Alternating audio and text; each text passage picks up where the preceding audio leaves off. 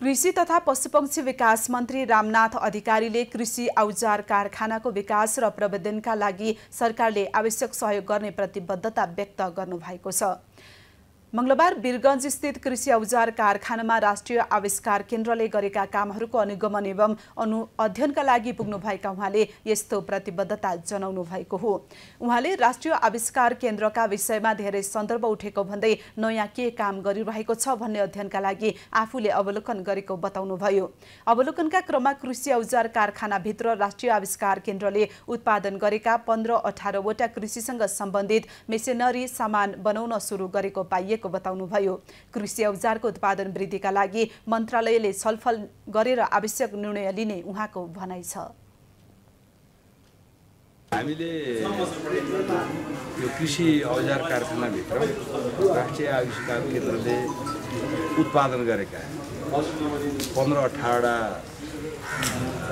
Machinery चिजहरू जो कृषिसँग सम्बन्धित छन् त्यो विषयमा हामीले अध्ययन गऱ्यौँ।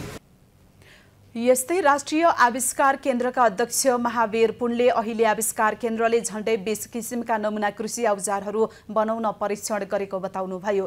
उहाँले उत्पादन सुरु गर्न आफूहरू तयार रहे पनि विद्युत प्राधिकरणले पाँच सय केभीको लाइनको ट्रान्सफर्मर राख्न ढिला गर्दा उत्पादन गर्न नसकेको बताउनु भएको छ।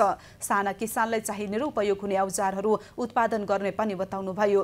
राष्ट्रिय आविष्कार केन्द्रले अहिलेसम्म दुई करोड खर्च गरिसकेको र अब बिस करोडको जिम्मा लिने बताउनुभयो बाँकी सहयोगमा सरकारले गर्ने आवश्यक नीति नियम बनाउन पनि आग्रह गर्नुभयो।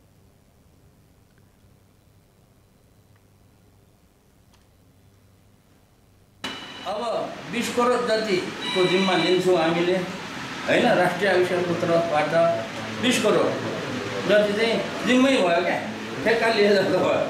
त्यो बिस करोड अब सरकारको तर्फबाट के कसरी के आइडिया ल्याउने कति थप्ने के गर्ने भन्ने किसिमको नीति निर्देशनदेखि सहयोग के के गर्न सकिन्छ त्यो गरिदिनु हुनुको लागि एउटा अनुरोध चाहिँ गर्छु।